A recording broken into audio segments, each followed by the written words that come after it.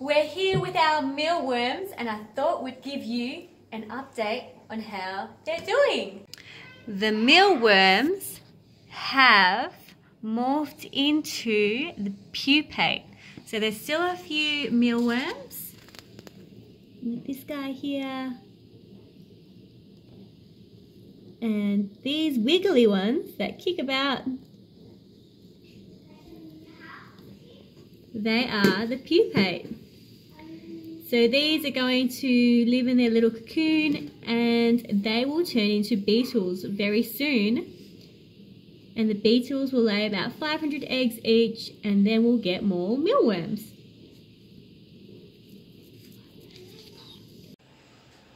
And there is our first darkling beetle hatched. Whoop.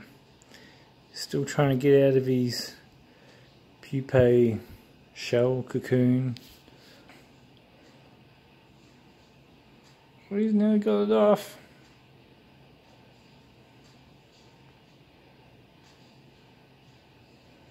Going for an explore.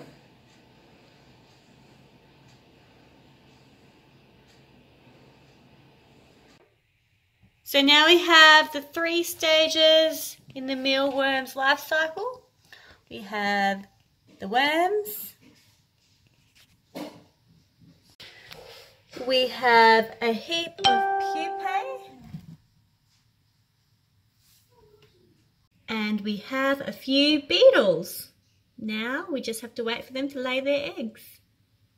This has been a really fun project and it's going to be a great way for us to supplement our chickens' protein requirements. Thanks for watching guys and we'll see you guys tomorrow for our one year farm anniversary.